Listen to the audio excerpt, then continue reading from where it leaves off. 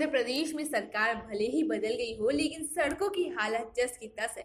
जी हाँ हम बात कर रहे हैं मध्य प्रदेश के आगर ज़िले से निकलने वाला इंदौर कोटा नेशनल हाईवे की, जो कि अपनी इस दुर्दशा के आँसू रो रहे पूरी सड़क पर बड़े बड़े गड्ढे हो रहे हैं, जिससे आए दिन कई लोग दुर्घटना के शिकार हो रहे हैं। इस और ध्यान देने वाला ना कोई जिम्मेदार अधिकारी है, ना ही कोई नेता। जिसका जिम्मा अब आगर भाजपा विधायक मनोहर ऊटवाल ने उठाया। उटवाल ने पूर्व मुख्यमंत्री शिवराज सिंह चौहान के साथ केंद्रीय सड़क परिवहन मंत्री नितिन गडकरी से मुलाकात कर पत्र लिखा कि आगर मालवा ज़िले से निकलने वाला इंदौर कोटा नेशनल हाईवे को चार जिलों को जोड़ता है। उसे जल्द ही फोर लेन स्वीकृत किया जाए। केंद्रीय मंत्री नितिन गडकरी ने भी उक्त पत्र को तुरंत अग्रिम कार्रवाई हेतु सदस्य एवं आर ओ को प्रेषित कर दिया है और इसकी जानकारी आगर विधायक को भी भेजी है। जब हमने पत्र दिया उसके बाद भूतल परिवहन मंत्रालय काफ़ी सक्रियता से आया और उनका केंद्रीय मंत्री नितिन गडकरी साहब का पत्र भी हमको प्राप्त हुआ है कि वो पत्र उन्होंने संबंधित विभाग के भोपाल कार्यालय को भेज दिया है आगामी कार्रवाई के लिए।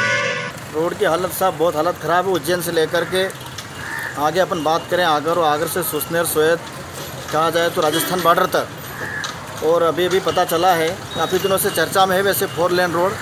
और तमाम जो है सांसद महोदय, विधायक महोदय लगे हुए हैं, इस प्रयास उनका जारी है। परंतु अभी शासन और प्रशासन से एक निवेदन है कि आए दिन जो एक्सीडेंट हो रहे हैं, ये रोड में बड़े बड़े गड्ढे हो रहे हैं, बारिश के बाद अभी थोड़ा मौसम खुला है।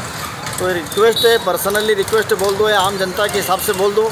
बहुत हालत ख़राब है और ख़ास तौर पर उज्जैन से लेकर आकर तो बहुत ज़्यादा हालत ख़राब है। सड़क को लेकर तो काफ़ी परेशानी है। पहले के आज से साल भर पहले सुसनेर से उज्जैन जाने में दो घंटे लगते थे। आज चार से पाँच घंटे लगने लग गए हैं। पूरा रोड यहाँ से वहाँ तक खुदा हुआ है। काफ़ी परेशानियाँ आ रही है। सारी गाड़ी वाले, जो कि आधी बार गाड़ियाँ रात में, दिन में ख़राब हो रही है, एक्सीडेंट हो रहे हैं। इस रोड को कोई भी जिम्मेदार आदमी सही करने के लिए तैयार नहीं है। काफ़ी परेशानी का सामना करना पड़ रहा है। से हम सभी क्षेत्र वासियों द्वारा एक मांग की गई थी और उस मांग को लेकर के कि नेशनल हाईवे जो हमारा फोर लाइन रोड है, वो बने अतिशीघ्र क्योंकि रोज़ एक्सीडेंट होते हैं, जिनके कारण बहुत काफ़ी लोगों की मृत्यु हुई है। तो हमारे लोकप्रिय विधायक जी ने इस बात को लेकर के माननीय नितिन गडकरी जी, जो केंद्रीय सड़क सड़क परिवहन मंत्री हैं, उनसे मुलाकात की, उनको पत्र लिखा। आज हमें जानकारी मिली है कि केंद्रीय मंत्री जी के कार्यालय से मध्य प्रदेश राज्य सड़क परिवहन के विभाग को एक पत्र आया है, और वो माननीय विधायक जी के कार्यालय को भी आया है। उनने उस पर पूरी कार्रवाई करने आश्वस्त किया है कि रोड को स्वीकृति प्रदान की गई है और उसकी बहुत जल्दी डीपीआर बनकर कार्य चालू होने की दिशा में।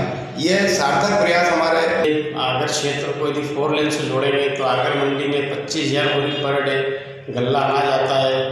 तो माननीय उटवाल जी ने इसको स्वीकृत कराया था फोर लेन के लिए, लेकिन किसी कारण से वो निरस्त हो गया था। दूरी हो गई थी इस कारण निरस्त हो गया था और माननीय विधायक महोदय वापस हमारे क्षेत्र के माननीय मनोहर जी उटवाल है।